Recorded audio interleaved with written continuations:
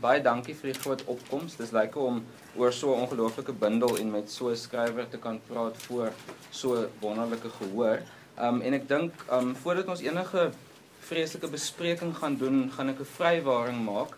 Um die van u wat nou al met die bundel te maak gehad het, sal weet dit is uiteraard onmoontlik om in 45 of 50 minute regte grondige bespreking daarvan te doen. So ons gaan hoogstens 'n verkenning daarvan doen. En ek dink ons moet dit dan sommer begin um, met 'n voorlesing Marlene as jy sal um, van die gedig woordverklaring. Um ek het die die oproep gekry van iemand wat toe nou vra maar wat het dan gebeur met die proeflees van die ding dat die L op die buiteblad weggeval het. Nou nou die L op die buiteblad het nie weggeval nie. As jy nou op bladsy 20 gaan lees, dan sal ons nou iets hoor oor hierdie pragtige woord kaar, Marlene. Goed. Ehm um, woordverklaring. Kaar. 'n Mooi ou Dietse woord vir iets waarin mens kan vergaar, heuning, vis, yswater. In 'n skuit 'n bak vir lewende gepaling of 'n byekorf gevleg van Spaanse riet, stingelsbrem en langstrooi rog. 'n Nis deur sneeu uit 'n spits gesluit aan die bopunt van 'n gletsergeet met onderaan 'n keteldal waar op 'n vloer van swerfsteen 'n dorp kan aanslip teen 'n muur. 'n Trechter sonder voet wat deur die koring op die meelsteen stroom. Ook die mond van Sint Ambrosius as kind waar die bye in en uit trafot so stille aforismes. De bono mortis, de fuga seculi. 'n Vers dink ek waarvan mens deur die vlegwerk loer, deur deksel, wolke, dooie neerslag om voor die wyn, die brood, die droë vis die kiem, die gis, die suur te kry, die gevaar van vinne, ander spore, vars verskrik, soos van Gervasius en Protasius, of 'n klank soos minne, orewoed, doupunt en furore. In 'n kar wil ek begrawe word. Geen vuur, geen kus. Dankie Marlene. Um reg deur die bundel kry mense die indruk dat daar um hierdie wonderlike spel met taal aan die gang is. En vir my wat so uit 'n halftaalkundige agtergrond uit agterkom is dit nou interessant hoe jy goed afstof hoe jy met die woordsoorte speel hoe jy totaal nuwe werkwoorde skep daar. Ek dink 'n mens kan 'n MT se skryf oor die werkwoorde alleen in kaar wat nog nêrens voorheen so gebruik of so geskryf is in Afrikaans nie. Wat by my nogal die indruk skep dat ons hier te doen het met 'n met iemand wat die skryf ook sien as 'n ambag, as 'n ding waar jy met jou stof en met jou materiaal baie grondig moet sit en dit moet beheers en moet werk. So miskien kan jy begin deur vir ons daaroor te vertel oor die ambagtelike skrywer. Ehm um, ja, uh wat die nuwe woorde betref of die woorde wat nie algemene gebruiksfrekwensie het nie, ek wil hom net so tussendeur gou opmerkingie maak. Ja nee. Dis baie snaaks om jou hier te sien. Want meestal sien ek jou as ek oor die oor die manuskrip kruip wat op die vloer lê om te probeer om 'n volgorde aan te lê. En dan staan jy aanmoedigend daar langs aan soos asof jy een of ander soort boeresport aanmoedig. nie ons soort gelyk nie, maar so ehm um, so ehm um, so ehm um, dit is ten dele 'n toneelstukkie wat ons opvoer. Absoluut. Julle moet dit sien, is nogal iets. Ehm um, ja, ehm um, oor die uh oor die woorde en oor die ambagtelikheid Ehm um, daar uh, dit is baie eensaam om te sit en skryf te skryf. En daar sit Andrius Buys, uh, 'n uh, student van ons in die MA kursus. Dit is 'n een eensame besigheid waarvoor mens nogal dissipline nodig het. En deel van die uh van die behoud van of die handhawing van die dissipline het te doen met belangstelling, nuuskierigheid of wat ook al so as ek nuwe woorde opsoek en met woorde nuwe woorde werk, dan is dit om myself te prikkel in die in die skryftoestand. Want as ek verveeld gaan raak, gaan ek nie bly sit nie. So, om nuuskierig te bly so ver as moontlik, uh sorg ek dat ek met goed besig is wat my nuuskierig maak en hou en dan kan ek by die werk bly. Ehm um, en wat die materiaal betref, ehm um, ja, Dis 'n interessante vraag. Alles is materiaal. Alle vreemde stukke, woordstukke, vreemde woorde, nuwe woorde, alles is materiaal.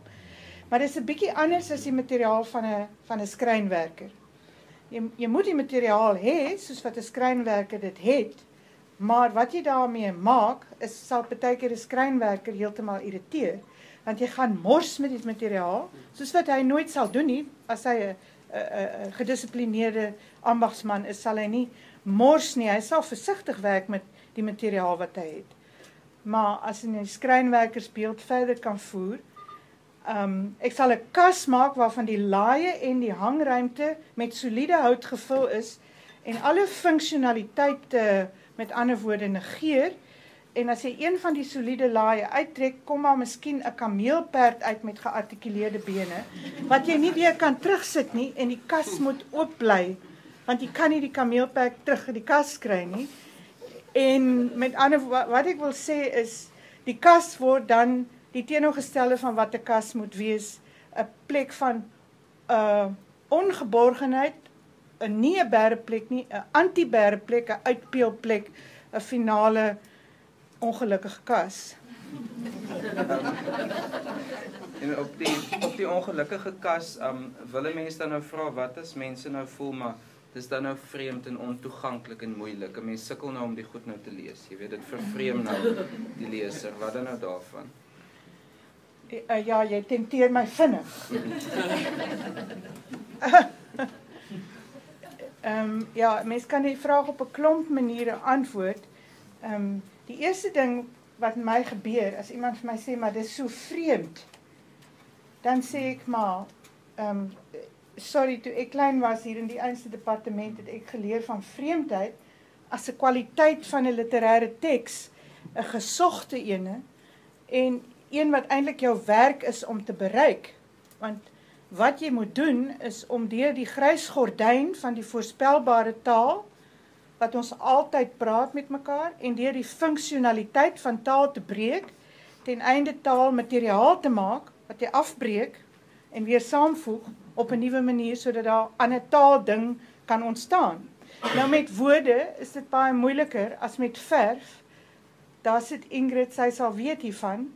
Ehm um, want met verf is daar miskien aan die kleur rooi of die kleur blou bepaalde emosionele assosiasies gekoppel, maar aan woorde is daar sterk betekenisse reeds gekoppel.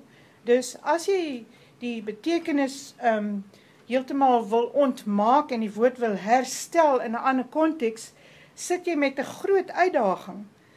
Jy wil ook nog kommunikeer, maar dis miskien nie dieselfde soort kommunikasie as wanneer jy sê gee vir my die sout aan asseblief nie. As 'n mens vir iemand sê gee vir my die sout aan asseblief, dan verwag jy die persoon sal dit vir jou aangee. Uh want die persoon verstaan beide die konteks en die opdraggehalte, die versoekgehalte van die en al die denotasies, konnotasies van die woord sout. Sout beteken sout. As mense dronk raak, kan hulle miskien sê, uh nee, ek wil nie vir jou sout gee nie, ek wil vir jou 'n woord gee. Hier, gooi dit oor jou eier. Miskien raak jy daarvan wys, maar dit ge gebeur net in uitsonderlike omstandighede. nou, nou met ander woorde, ehm um, vreemd is deel van die werk wat 'n mens het, dink ek as 'n mens skryf. Ehm um, 'n mens moet sorg dat jy dit so vreemd as moontlik maak. Dis nie net my idee hierdie nie, dit is 'n idee wat van die Russiese formaliste afkom. Kundera het 'n pragtige boek daaroor geskryf waarin hy die die skeur van die gordyn van die gewone as 'n metafoor gebruik om om te om te probeer aandui dat dit 'n werk van inspanning is om verby die klisjées te kom. En ja, ja, voorlopig dit. Ja, ja, ons gaan terugkom na daai punt. Uh, as ek te veel um, so klink nee, nee, nee. asof ek uh, skree daar kan almal my hoor. OK. OK.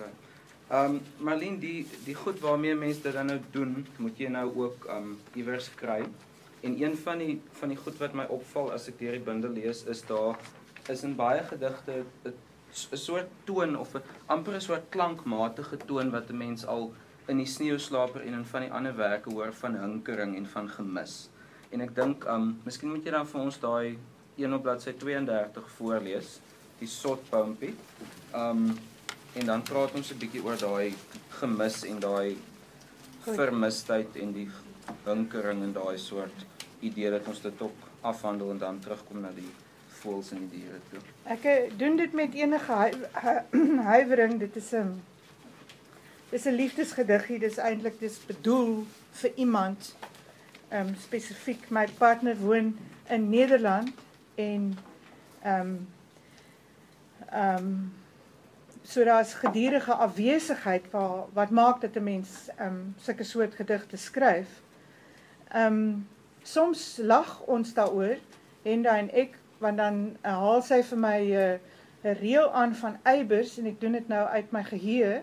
Ek is nie seker of ek dit my reg herinner. Gaan weg van my dat ek van jou kan skryf. Sot Pumpy. Ek het geen huis meer buite in jou hart. As ek weggaan, sluit ek die voordeur. As ek terugkeer, staan ek op die stoep, my modder vars aan die skraapmat.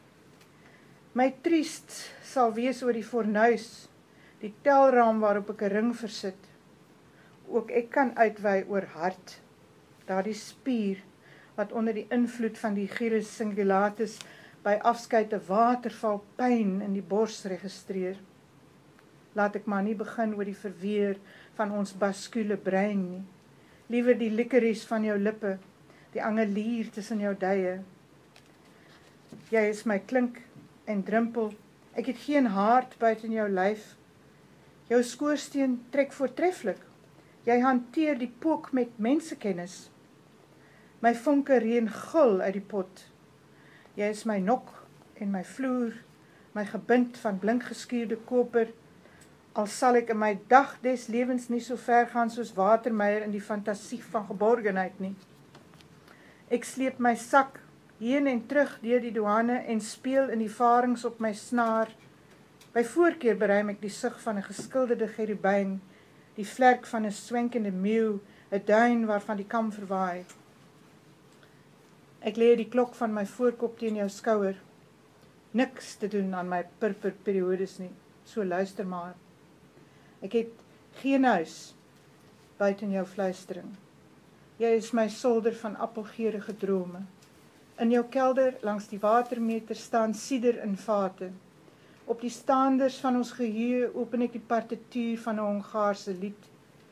Deur die venster van jou verbeelding lê ek ereprys in die boek van jou hande.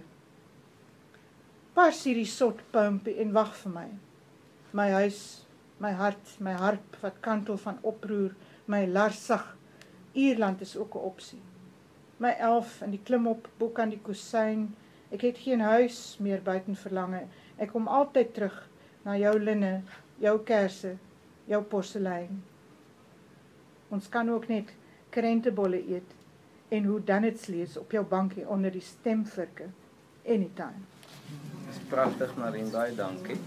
Um en 'n mens kry dan nou reg deur die bundel hierdie idee van daai daai hinkering en daai gemis van iemand wat weg is en iemand wat ver is en um ek weet met jou met jou reise na die buiteland is dit ook altyd 'n geval jy het al een keer vir my vertel um dat 'n mens amper voel as jy nou terugkom nadat jy nou 2 maande weg was en jy sien maar hier koop mense nog steeds hulle wors by die Spar en hierso is nog steeds 'n stuk in 'n verkeerslig dan voel jy maar dit is seker dan nou maar hoe dit sal gaan as ek dood is. Ja. Wil jy 'n bietjie daaroor praat? ja, dit is 'n dit is 'n rare effek wat dit het, dink ek, uh op 'n mens se bevindelikheid. Ek weet ook nie altyd of dit vol te hou is nie. Um 'n mens voel soos 'n spook in jou eie dorp, 'n spook van jouself in jou eie dorp. En daar's altyd 'n nuwe gebou op 'n ho- straathoek as ek terugkom of 'n nuwe restaurant of een met 'n ander naam waar daar altyd iets anders was. En dan sal ek lank in 'n straat heen en weer loop en soek na iets en dink maar, hoe is dit nou? Het ek het dan vergeet waar ek altyd dit of dat gekry het. En dan blyk dit gewoon heeltemal 'n ander winkel in 3 maande tyd. Maar ek dink ook dit sê iets van hoe dit hier is en hoe vinnig dinge hier verander. Uh en watter soort vloeks dit is. Maar dit gee dikwels 'n gevoel af van van vervreemding. Uh en uiteraard vervreemding is 'n uh, voedsel vir vir digters. Uh as ek dit dan kan gebruik dan is dit 'n uh, meegenome soos die Hollanders sal sê.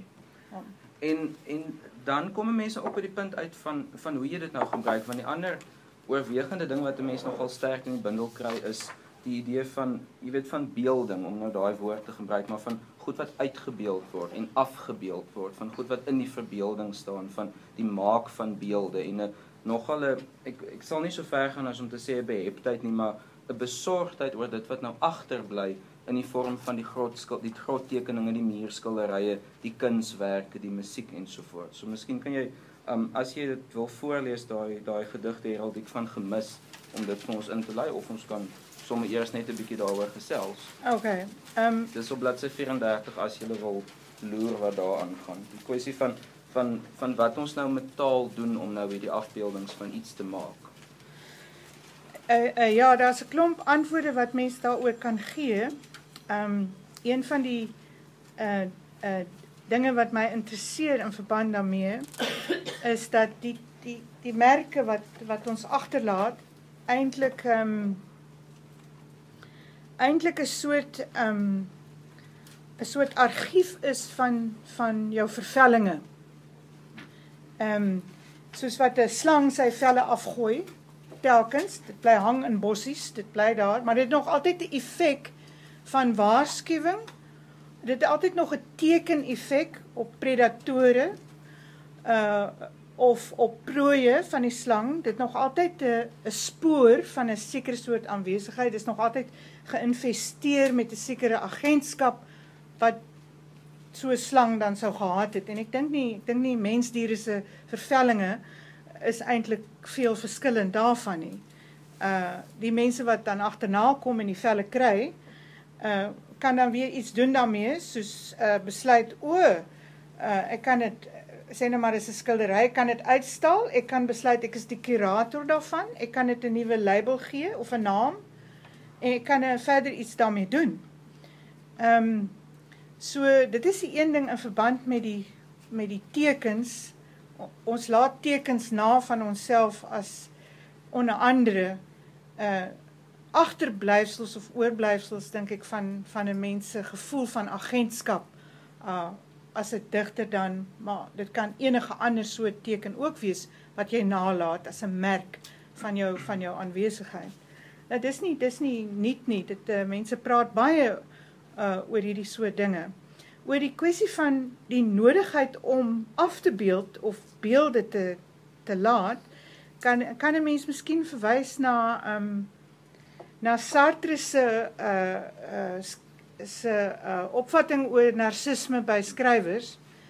Ehm um, en hy het hierdie hy het hierdie mooi storieetjie van die skilder wat afkom op 'n dammetjie op 'n pragtige lenteoggend. Daar's 'n dam, daar's lelies, daar's 'n wilg, daar's drie eende op die dam, daar's lelies. Dis skitterend wonderskoon en hy staan daarvoor in verrukking. Hoe pragtig is dit? Hy antwoord daarna met sy siel. Hy herken skoonheid. En dan oorval 'n vreeslike vermoede hom. Maar is dit ook so bedoel? Het dit ook betekenis? En wat doen hy dan dadelik? Hy gaan gryp sy esel en sy verf en hy besluit goed. Skildery afbeelding, beeld van dammetjie. Ek kies die blou, ek kies die geel, ek kies die eend, ek kies die wilg. En dan teken ek ook my naam daaronder aan.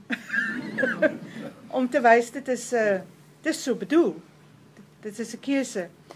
Ehm um, daar's 'n pragtige gedig daaroor ehm um, by Ida Gerard oor die akelei van Dürer, 'n klein uh Columbine akelei. Uh hy grawe die akelei uit in die veld en dra dit voor sig uit, sit dit op die vensterbank, begin daaraan te skilder, hermaak die hele dingetjie daar en dan in die aandlig dra hy nog talle my nog daarbey en teken dan glimlaggend ook sy naam daarbey. Dis vry aangehaal. Maar goed, so uh dit gaan ook oor hierdie narcisme dink ek. Uh ek bedoel mens kan dit En ek bedoel dit nou deskriptief en nie ehm um, ek bedoel dit tegnies narcisme. Ek bedoel nou nie OK. Nee, goed. Um, ons teken dit so aan. Dis nie dit is 'n observasie en 'n verklaring nie 'n verskoning nie.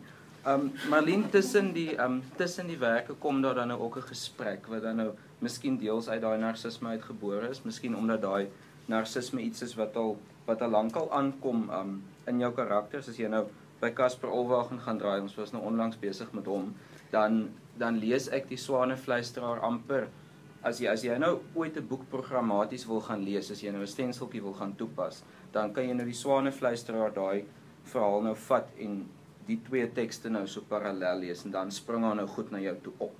So kan jy vir ons vertel van daai goed wat jy daarin gesit het om op te spring na ons toe want hulle is daar. Ja, wat jy nou eintlik van my vra is in uh, eh, om 'n eksegeet van my eie Nee, nee. en ons en ons weet mense ja. spring op jou kop as ja. jy as jy dit uh, dit doen. So ek wil net 'n kanttekening daarbey sit as ek nou sekere goed hier sê, dan is dit uh, nie met enige meer autoriteit as wat enigiemand anders iets daaroor sê nie. En ehm um, as ek dit interpreteer, is dit nie die interpretasie nie, dis deel van die interpretasies daaroor en as ek daaroor praat, praat ek nie as die persoon wat dit geskryf het nie. Ek praat in 'n in 'n ander uit 'n ander plek. Uh, goed, reg? Kan tekening voltooi? Ons loop dan saam met jou af as reg. Ehm ehm ehm 'n mens sal sien dat uh, die argument wat deur die um, verteller uh, in die in die storieetjie gevoer word ehm um, is dat ehm um, 'n mens nie meer prosa kan skryf in die land nie want die logika van die land weerstaan uh, alle narratiewe ja. opeenvolging. Ehm um, en dat die poësie dan vir hierdie hierdie student wat wegraak die enigste oorbly oor oorblywende uh um praktyk is wat oorbly. Maar dit is dan nie 'n praktyk van idees nie, dis nie 'n praktyk van argumente nie. En dit is iets wat sigself wil oplos in klank. Ja. En wil wegstuur van betekenis. En ehm um, wat die wat, wat hy eintlik is dan ehm um, hy is 'n soort simbool of 'n of 'n beeld van die ander waarna die die digter, die verteller in die verhaal streef uh uh in 'n poging om om hom te vertaal vanaf sy kasette waarop hy hierdie uh betekenislose woorde inspreek. Die digter sit en luister na kasette wat wat iemand gemaak het van 'n klankpatrone sonder enige betekenis en die digter probeer dit vertaal min of meer terug na een of ander iets wat volgbaar is. Maar Casper staan vir iemand wat iemand afgeluister het wat met swane praat. Ja. Dit is onmoontlik om met swane te praat, maar iemand het zich verbeel dat hy met swane praat. Met ander woorde kommunikeer met nie menslike uh dinge, met nie menslike lewende wesens. So die verlange dink ek soos wat ek dit verstaan daarin is in 'n plek waar gekommunikeer kan word met minerale en met diere en met die elemente. En hierdie kommunikasie is is iets wat ons nooit heeltemal eie kan maak nie, alleen deur moeisame vertaling, miskien 'n benadering daarvan kan neersit. En dis iets wat 'n mens um wat by 'n mens opklink toe ek in my heel eerste jaar hierso sit. Toe um het jy vir ons 'n klas gegee. Die kursus se naam was Afrikaans en ideologie. Marlene gee toe die eerste 3 lesings daar. En in die eerste lesing toe sê sy vir ons as jy enige hoop het om iets te weet of om iets te leer of om dan uiteindelik iets te wil skryf, dan moet jy op jou toilet se tenk hê die HT, die groot verse boek, die Bybel en Robert se voelgids. en nou as jy nou praat oor hoe ons nou wil kommunikeer met die minerale, jy weet, en met die stof wat onder die kas lê en met die eekoring op die solder en die soort van goed, dan um dan kom 'n mens by daai gedig um die die die openingsreël daar um hy's ongetiteld sê vir ons die jacaranda in Oktober is nie 'n gedig wat oor iets hoef te gaan nie. Nou um daar is tog nog steeds hierdie hierdie hierdie idee van die die natuur as 'n bron of 'n voedingsbron. Jy jy het pragtige reëls soos my tuin is 'n monnik by wie ek leer en dan daai daai slotstrofe in daai um in die gedig vir waterplas en sterre. Ek wonder of jy nie dit miskien vir ons moet voorlees nie. Dis op bladsy 71 in die bundel. Hy's nie afgedruk op die papiertjie nie. Daar's 'n uittreksel, maar um vir die wat die bundel het. Daar's nog sulke reëls, daar's die nog 'n pragtige reël wat 'n mens nogal so 'n bietjie laat afloer op wat die digter hier doen is waar die een um gedig sê ons radbraak ons sinne om jou aandag te kaap. En um dit kry jy natuurlik meesterlik reg maar ek dink as jy daai waterplas en sterre gedig vir ons voorlees ek dink dan kom ons nogal daarby uit. Goed, ehm um, ek sal dit voorlees en dan sal ek ehm um, ook nog 'n uh, eerste weergawe van die gedig lees en dan sal 'n mens kan sien wat 'n soort ehm um, spanninge eintlik aan die gang is rondom die kwessie van betekenis. Ehm um, oor waterplas en sterre. By 'n kinkel in die voetpad waar ek versigtig tree want alles is nat, die grond, die gras, staan ek plotseling verras deur twee sterre sprankelend in 'n waterplas. Toe ek soos wat 'n mens maar is my nek opkrink om die oorspronklikes te vind, kry ek net 'n dowwe glans in 'n hoë wolk omwind. Wat doen dit aan 'n waterplas as twee sterre dit bevolk? En die sterre, hoe voel hulle so in 'n waterplas verdubbel deur mense oë en 'n wolk bemiddel? Waartoe dit 'n mens aanstig is net genoeg vir 'n berig. Jy moet op al twee knieë jou hande weerskant in die gras jou kop laat sak en drink uit daardie waterplas en regop kom, versigtig met die sterre in jou mond en hulle soos die wolk gebied met gras en grond en water meng tot 'n akkoord oor jou ontwenning aan die wêreld en aan die juiste woord. Die einde daarvan die opgaaf van die digter ontwenning aan die wêreld en aan die juiste woord met ander woorde ongewoond maak aan die juiste woord. Die vroeë weergawe hiervan oor wat dit met 'n mens verrig want ek is een kan ek voorlopig dit berig jy moet op al twee knieë jou hande weerskant in die gras jou kop laat sak en drink uit daardie waterplas en regop kom versigtig met die sterre in jou mond en hulle soos die wolk se donker tong gebied dit bymekaar sit in 'n lied oor hoe die met gras en grond en water bymekaar sit in 'n lied oor die geboorte van die wêreld wat elke wintersnag geskied. Sy. OK. Goed, mens kan daaroor lag want dit is verskriklik sentimenteel. Maar dit is ook 'n deel van 'n mens. En dan op 'n dag sien jy dit raak en dink en jy dink o nee, dis 'n slang wat my pik. Asseblief. Hoe kan dit nou op lied en geskied rym in, in die eerste plek? En hoe kan 'n mens soveel vertroue hê in die woord? nou ja, tussen die skepsis teenoor taal en teenoor die skepsis teenoor betekenis lê 'n soort vertroue, maar ek dink dis die spanning tussen die twee dinge, die taalvertroue en die taalskepsis waar vir my waar uit die poesie kom. Dit is 'n dit is iets wat ontstaan uit daardie soort spanning. En en ek dink dit het met my te maak met 'n um, ehm, bepaalde toevallige invloede wat teenoor mekaar gestel was in my studietyd. Aan die een kant die inbreng van ehm um, Schopenhauer en Nietzsche en ons weet van Nietzsche se taalskepsis en aan die ander kant heeltemal teenoorgestel die taalvertroue van hermeneutici soos Gadamer en en Ricoeur.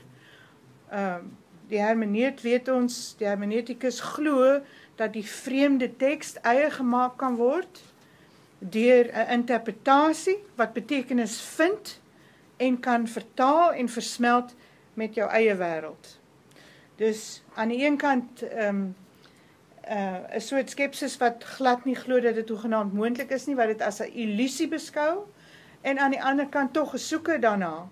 So mense kan dit noem 'n ontnugterende en 'n troostende tipe wisselspoor waar waarop uh, waarop ek nou verkeer.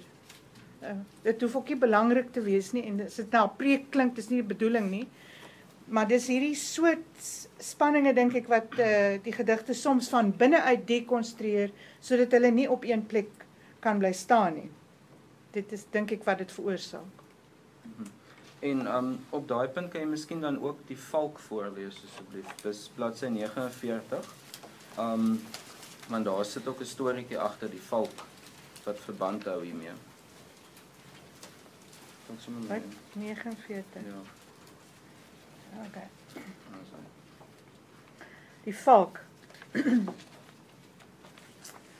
Hy trim sy vlug na kontoure van die land, na die swaardes wat die wind sny uit die gras op die heuwels.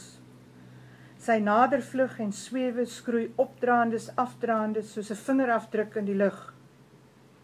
Hy kantel sy stert, wimpel sy punte, sy romp gekiel teen die einders. Hy meet sy bereik uit die oksels, borsbeen en stuitbeen haaks verreken in middelpunt vlieding die as van die aarde, die helling, die spieël van planete, die heen en teenspoedende eons van tyd.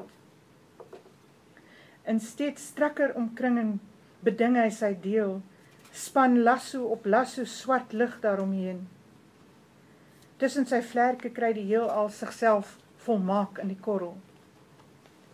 In hierdie gewrig, gevet onder bossies, skarrel ter slagting die klein die klein wild. Want wie kan standhou teen soveel besturing, so gebid op een plek? 'n Neerklief met vlerke gevou teen 'n boog, onverbreeklik gevat in Nautilus skulpe, tentakels waaierend sentripetaal in galaktiese nevelspirale. Een sal verbibberd die vergeetlikheid najaag, sal oorgee sonder gestribbel en 'n kort pad waag oor die oopte. Die pupil oopgetrek, die snorbaarde trillend, die voorpoot verpower onder die pols van maanwaters, skerp klink 'n kreet met die opraap teen die styl gradiënt van genade, in die kloue gegryp vergesel skaarse sug, die onthegting uit 'n wêreld van slagspoortjies, polle, kluite.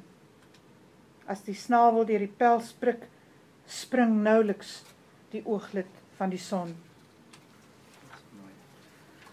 Nou daar's 'n storie agter die valkbesigheid.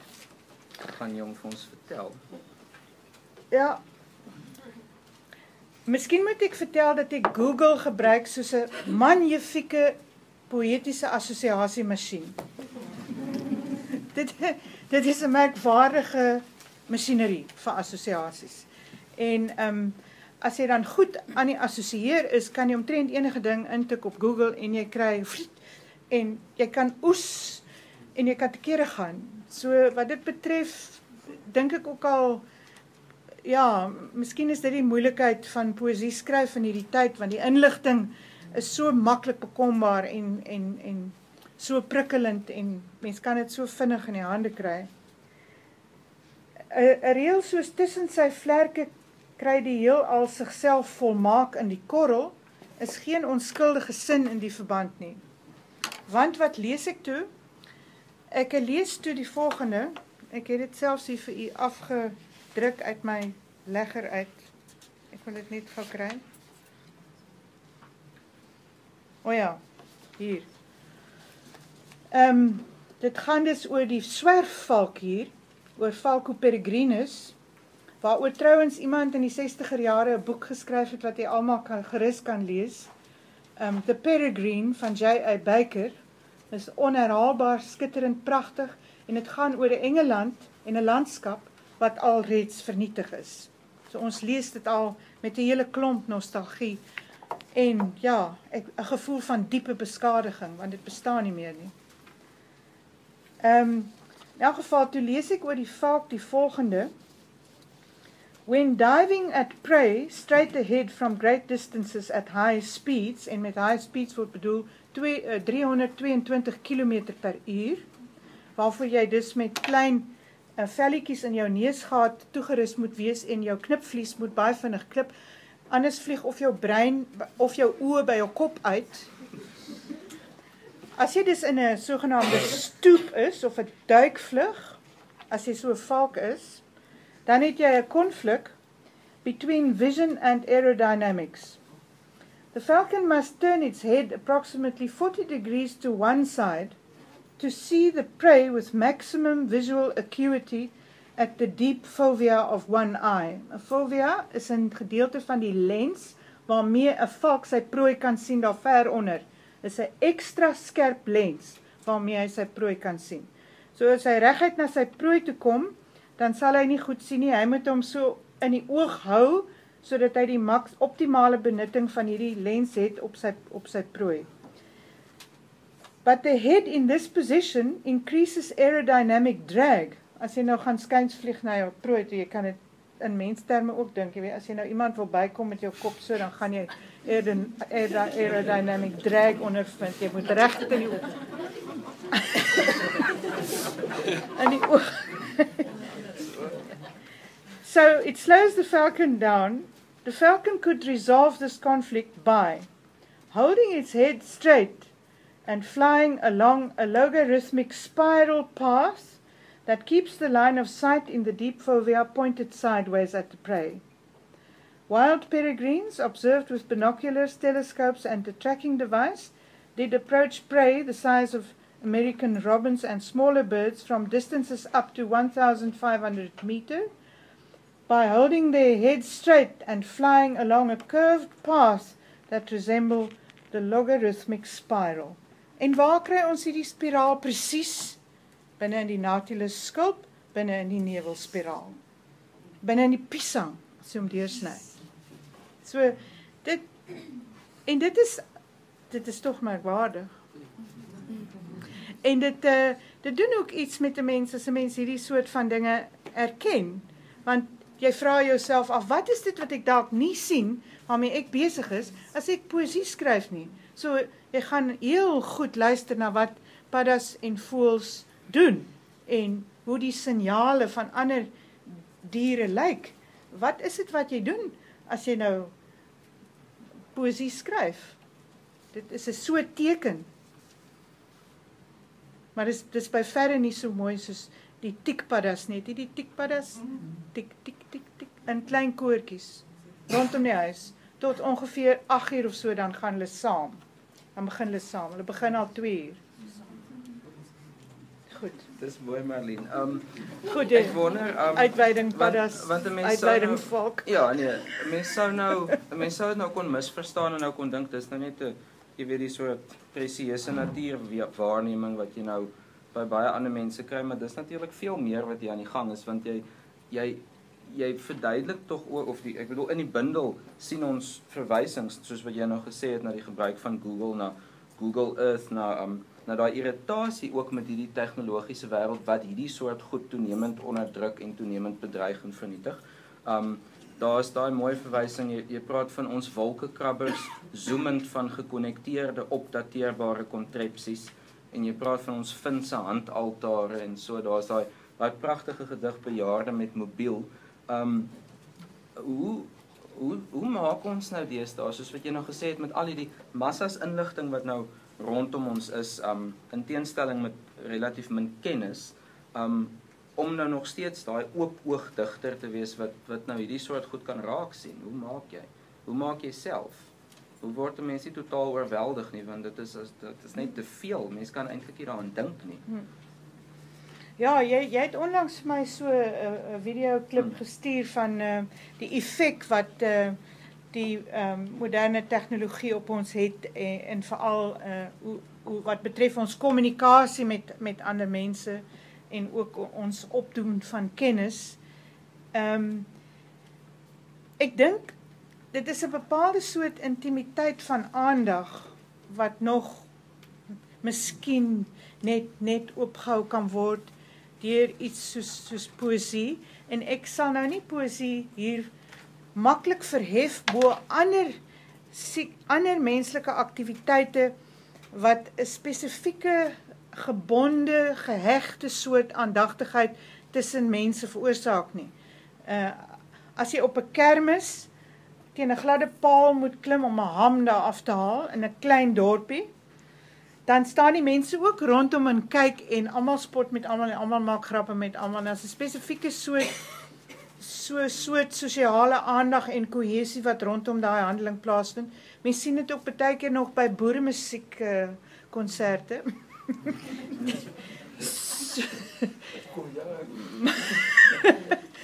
maar so uh, so ek dink poesie en en wat dit doen bind mense op 'n sekere manier van 'n intieme verband van aandag aan aan 'n bepaalde teks en ek dink die aandag het te doen met die raak voel of van van gevoelens wat jy het maar wat jy nog nie benoem het nie of wat jy ontdek en van intimiteite in taal wat jy nog nie deurvoel het nie, maar kan voel. Met ander woorde, omgewing van potensiële mo van moontlikhede.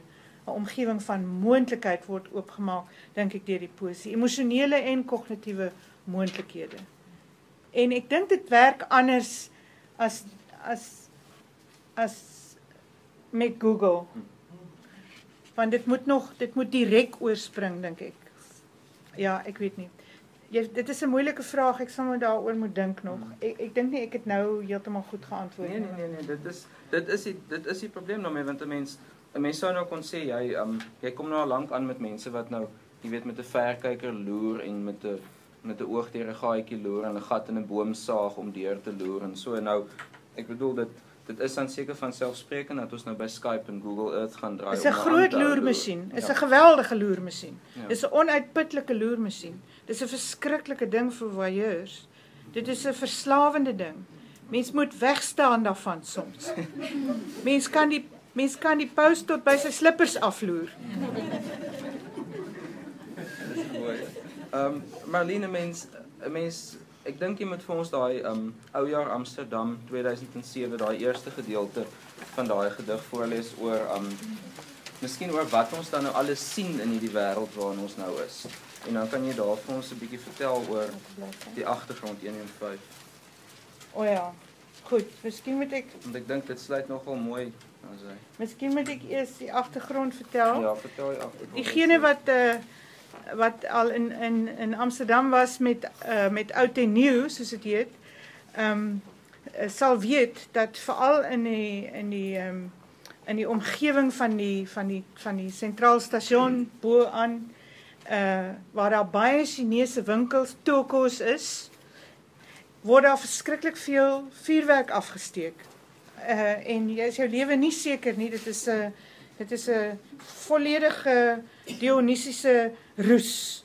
Mense skiet hierdie goed en mense spring rond. Mense se oë is net so groot. Ek weet nie, ek dink dit het te doen met een of ander jaarlikse artifisiële jaarlikse hormoonopwekking om net uit te hou totdat die son weer begin skyn in in die lente.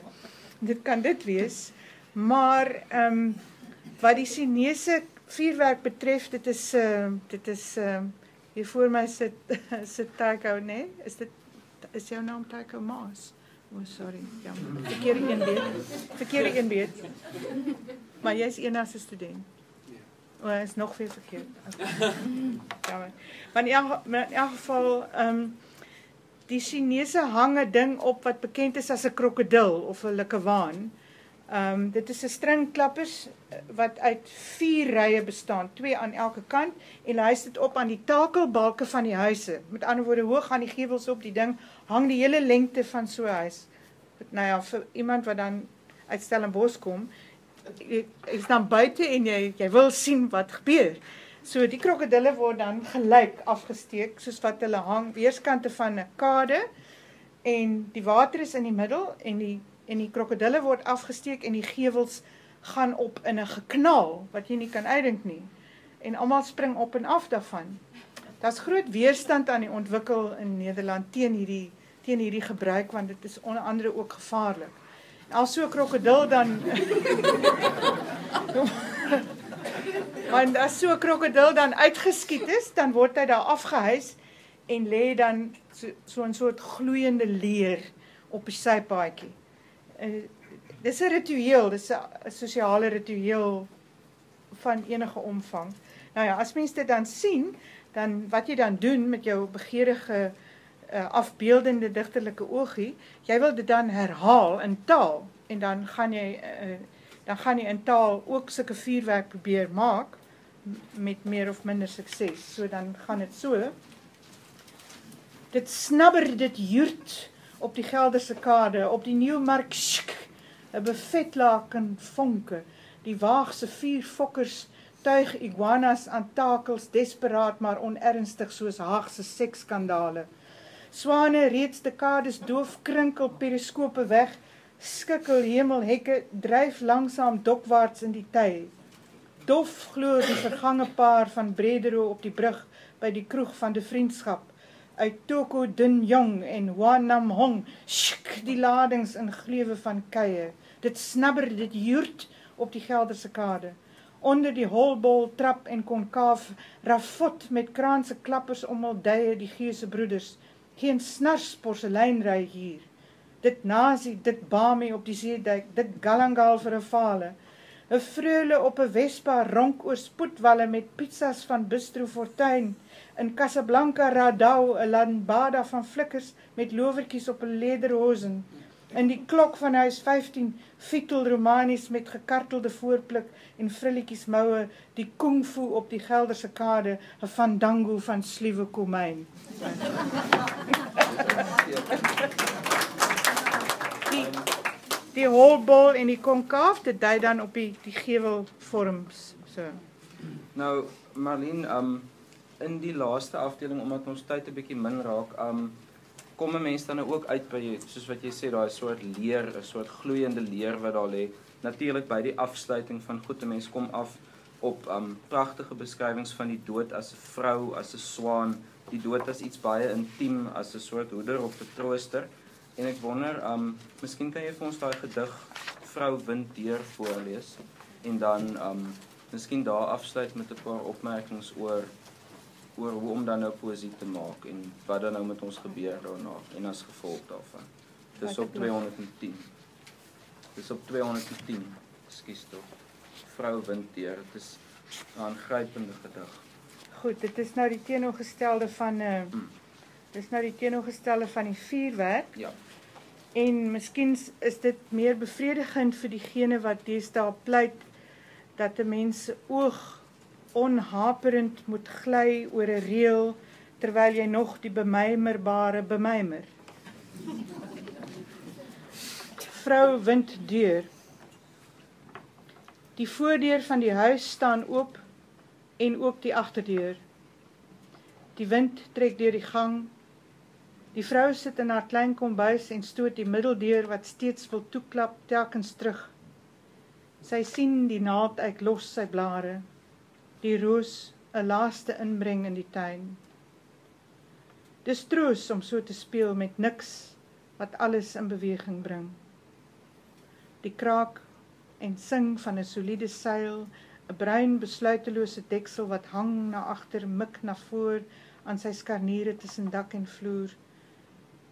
Sy vind dit suur om so haar hand te leer van oop en dig en heen en weer terwyl die togte ongestuit deur al die gate bries.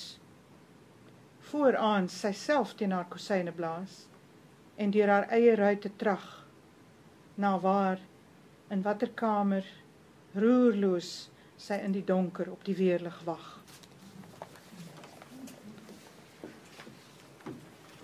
Ja, ek het nie eintlik in die um in die laaste gedig um hoor 'n mens ekos daarvan en van wat jy nou hier vir ons gesê het van die digter um wat daar gesê word om by die seekat te gaan leer om gewoon hierdie verhullende ink te spuit en dan na die afgrond te gaan en te gaan soek en te gaan kyk. Miskien kan ons op daai punt dit dan bymekaar bring en klaar maak. Goed, ek lees nog die seekat. Ehm um, Exit Octopus vulgaris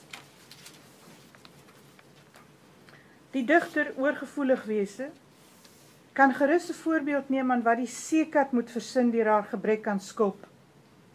Verdeel die hart betyds in 3, die brein in 9 dele. Splyt die voet in 2 kwatryne, verwoester 4, die ooriges vir Wellington. Tatoeëer die kripse skinde in al die lae van die vel. Skurf soos klippe in die Pakhuisberg, glad so stil by wier. Osilleer soms as korbeelhuis uit die rokoko in pruime pink koraal. Bluf jou smart met stekelsteunpilare uit 'n middelgoties kathedraal. Maak die aardkloot tot jou oester, jou bedstee uit 'n kokosnoot. Berei in nood jou ligspiegot teen die inval van die Kaapse aal, die naaiwerige snot glad rob. Hersien die pomp, vul die swart voedraal, trek die binneborsdrok haaks mik jou gulste waterstraal en vuur. Psim, psum. 'n Heksepluim van drukkersink. Vlug kop eerste in die wolke der onwetendheid. al jou sinne in een kraal. Marlene, baie dankie daarvoor. Miskien het ons hierso as afsluiting dan sprake van 'n soort ars poetica wat jy daar vir ons uitpak. Miskien kan jy vertel waar dit ook nog voorkom en so. Daai daai Joodse mistiese verwysing wat jy O ja. daar het. Ehm um, ja, die woordjie psim psoem is nie onskuldig daar nie. Mens kry dit ook in die groot maagwerk toneel in Agat. dit verwys na die begrip wat ek geleer ken het by ehm um, Gershom Scholem in Jewish mysticism, Tzimtzum. Ehm um, dit slaan op 'n beweging van die goddelike en die argument klink min of meer so, dit is nou die boere afkorting van die argument asseblief. Dis so ek dit nog begryp uit 'n uit 'n ou lektuur. Ehm um, as die Ein Sof die totaal is van die goddelike heelal, as dit alles is wat bestaan en dis totaal, alles vullend en alles beheersend. Hoe kom daar dan plek vir die skepping van 'n aardbol met mense daarop? So, in die Kabbala word dan verduidelik hoe dat die goddelike instansie sigself moet verklein, inkrimp en terugtrek sodat die Ein Sof kleiner word sodat daar plek kom vir 'n vir 'n ander skepping, vir nog 'n wêreld. Dit is 'n baie mooi en ehm um, en 'n um, kragtige, pragtige metafoor eintlik vir alle soorte van maak van dinge. Want daar is altyd 'n soort um, inkrimping en uh afmaak van diself ten einde uh die maaksel plek te gee om om te bestaan. Nou, nou dit is volgens my begrip so. Maar wat dan gebeur uh verder in hierdie in hierdie gedig hier vir my gevoel of wat ek probeer doen het daar is om te wys dat daar iets heel erg belangrik is in verband met die startposisie van enige maakproses en dit is die posisie van the cloud of unknowing. In die middeleeue het die mistici die term hanteer om te verwys na die sogenaamde via negativa ten, teenoor die positiewe weg, die via positiva, in verband met die kennis van God. Die kennis van God in die positiewe weg was die kennis wat jy kon definieer in terme van kenmerke en eienskappe van God en jy kon dit leer en jy kon dit ken. En die via negativa daarteenoor was 'n ander soort weg wat vergelyk kan word met die boeddhistiese beginner's mind. You never there, you always have to begin again and when you've reached any place you you have to say it's not yet this. It's not yet this. Met ander woorde, jy herstel jouself telkens in die ontweting uh ten einde miskien iets te benader van 'n gans andere om jouself op te stel binne in die wete sou jou verder bring van die gans andere om jou op te stel in die wete sou jou opstel in die opinie wat die teenoorgestelde sou wees van wat 'n mens maak as iets wat jy nie klaar weet nie maar iets wat jy uitvind en iets waarvan die spore van die proses van uitvind ook nog in die maaksel lê. So dit is nou alles wat daar in my kop aangegaan het toe ek nou dit geskryf het. Marlene baie dankie daarvoor. Dankie dat ons so in kan inkyk op 'n baie persoonlike aktiwiteit en baie dankie vir hierdie boek. Mag daar nog vele sulke boeke kom, maar dit is iets spesiaals. Baie dankie vir jou gesprek En- op 'n en- verslyke En baie dankie Marius dat jy dit so lief met my gedoen het. Groot Ons klein toneelstukkie. En ehm um, en ook vir al jou hulp met die ehm um, met die voorwerk en rondom die seleksie Ja, uh van van die gedigte in hierdie uh bundel jou fyn oog was altyd vir my 'n onderskraging. baie dankie, maar veel geluk Marlene. Dankie.